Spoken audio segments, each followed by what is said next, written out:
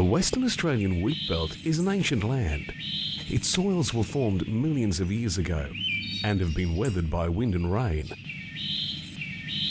You can see a model of the Tammin landscape as Europeans found it in the 19th century. This was a gently undulating country covered by eucalypt woodlands and sandy heaths. A rich and diverse environment in a delicate balance. You can see a model of the Tammin landscape after it was cleared for agriculture.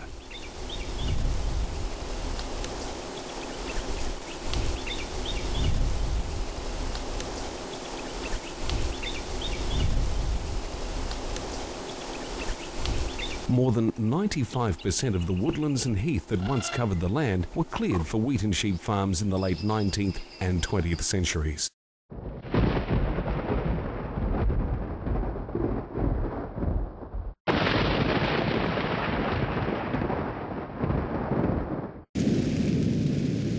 Today, dryland salinity poses a major threat to these farmlands.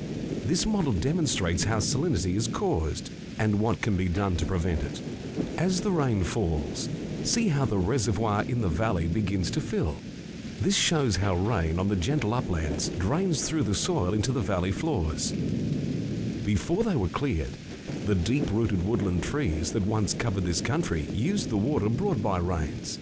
But in land cleared for farming, there are many fewer trees and the water table begins to rise. As the water rises, it carries salts once stored deep underground to the Earth's surface. These salts slowly accumulated in wheat belt soils over millions of years, but the rising water table pushes them to the surface, ruining farmland and livelihoods. There are ways of tackling the salinity threat.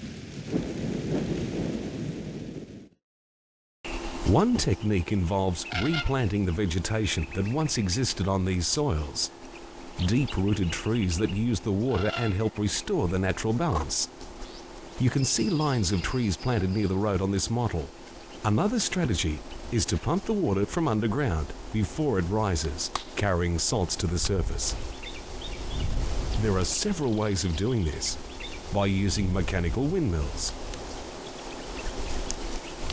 solar-powered bores, or electrical bores to pump the water into evaporation ponds or for treatment in desalination plants. See how each of these solutions helps lower the water table in the model. Salinity threatens more than a third of all wheat belt land in Western Australia. But as you've seen, there are many ways of tackling the problem.